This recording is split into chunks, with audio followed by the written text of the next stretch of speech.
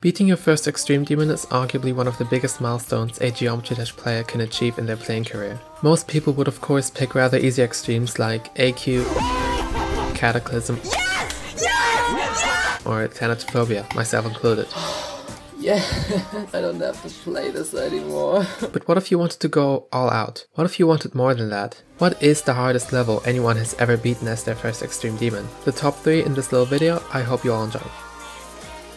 On number 3 we have Korean player MSG jumping from Jawbreaker to Congregation by Presta at number 39 on the demon list. A really insane difficulty jump, one of the biggest this game has ever seen in fact, but actually an understandable one nonetheless. Congregation is an odd level because despite its insane difficulty, anyone with enough patience and focus can beat it. It doesn't make use of the wave or the ship game mode once in its 3 minute long playtime, which are the two modes new players often struggle the most with. It's only timings, and pretty slow clicks per second are required throughout all of it. Now even though this, according to most victors, including MSG, makes the level awful to play, it still grants a good opportunity for a really hard extreme demon to beat, for a player with not that much skill but a lot of patience. This is also just another reminder that the Korean GD community is a lot bigger than you might have thought.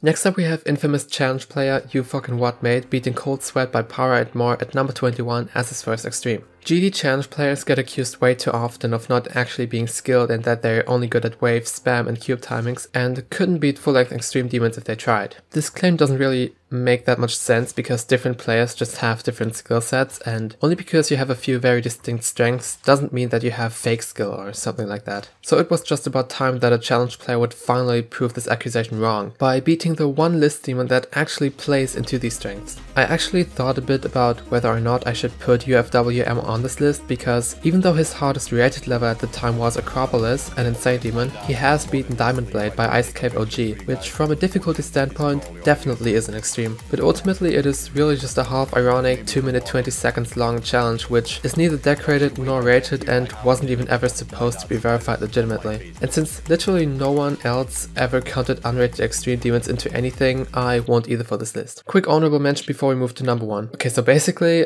uh, this one guy jumped from Theory of Everything V2 and Easy Demon to Crimson Planet by True Omega, the 18th hardest level currently. The reason I sadly cannot count this is that he played on a layout version, effectively nerfing the level and also meaning that the list moderators couldn't verify the legitimacy of the completion. Also the video quality looks like this. I do however think that the player Lil Niky is legitimate since they have been uploading Crimson Planet progress as far back as March 2021. And I just really felt the need to include this because this guy plays on a trash 60Hz laptop which can't even run a layout on more than 180 FPS at which they have to record with a mobile phone. And I can just so relate to that and it honestly is inspiring that you can apparently still do some really impressive stuff in this game, no matter your hardware. Either way, let's get to the hardest first Extreme Demon of all time. Okay, I apologize for potentially being overdramatic, but like honestly I was I was shocked when I saw this.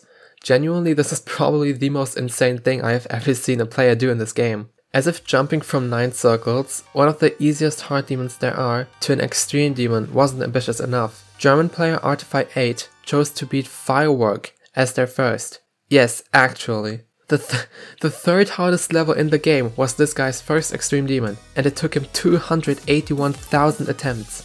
Dedication and ambition like this is exactly what makes playing this game so exciting, even after 5 years of no updates. And I respect the hell out of Artify for pulling through with this and not giving up. So yeah, definitely goes up to this guy, he really deserves it. All links are in the description. Ending this video, I just want to very quickly say that I highly discourage anyone from doing such big difficulty jumps. For the few times it does work, it is insanely impressive and fascinating, but for the 99% it doesn't, it will only frustrate you and take you ages for nothing. Also, it really is not a sustainable way of building up actual skill. But either way, I'm really looking forward to the crazy stuff players will do in the future. I hope you all enjoyed this short video, if you did, you know what to do. Have a great day everyone, and bye. Fortnite Battle Pass. I just shit out my ass, booted up my PC, cause I need need.